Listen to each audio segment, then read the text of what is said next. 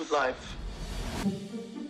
This is the most important exercise. It's not the destination, but the flight that matters. Have booked us on a flight to Iceland. Exotic, right? That lump of volcanic rock in the North Atlantic. David, c- come back. You're a, you're a fearless flyer.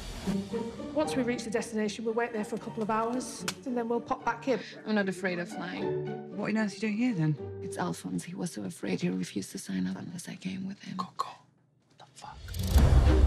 Dear guests, it is now time for the safety demonstration. All it takes is- is one little bird to get sucked into the engine of an aircraft.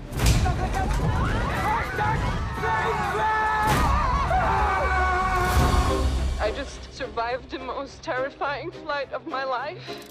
Our flight has been delayed nine hours. Apparently, there was a partial breakdown in one of the engines. They've arranged a wellness hotel for us to gather ourselves and prepare for this evening. To take that flight tonight would be nothing less than suicide. No matter what the others decide, okay, we're taking that flight tonight. If you want to fly, spread your wings.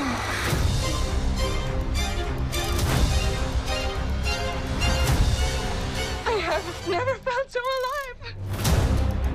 Ah! I want to go home.